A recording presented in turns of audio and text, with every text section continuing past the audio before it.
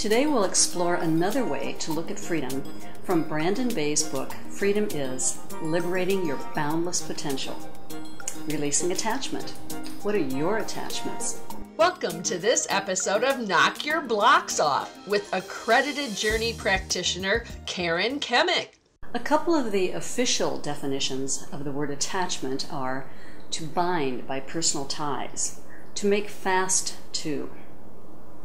How do all of your attachments in life bind you? Let me ask you some questions to help you think about this. If you were to strip away all your material goods, your house, your lifestyle, who would you be? If you didn't have all your beliefs about yourself, your life, how things should be, who would you be? If you couldn't define yourself by your job, career, or training, who would you be? If you didn't have family, friends, a spouse, then who would you be?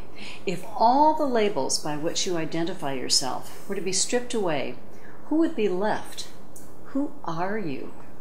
I invite you to spend a few minutes just contemplating these questions. We tend to get so caught up in all of the ways of identifying ourselves. I'm so and so's wife or husband. I'm a teacher or a business owner. I'm from Ohio. My children are straight A students. I own a huge house or boat or three cars, whatever it is. But what if we contemplated who we are when we get down to basics? Who we are without all those attachments, all the stuff now, I'm not suggesting you divorce your spouse or abandon your children or give up everything and retire to a monastery. But what if you took the time to contemplate, think about all these attachments and what they mean in your life? What if having fewer attachments, less stuff, was a way to freedom? How do those things affect you?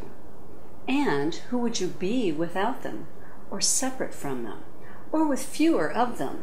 Or, as Brandon Bay says, practice a light relationship with things, where they really are the Play Doh of reality.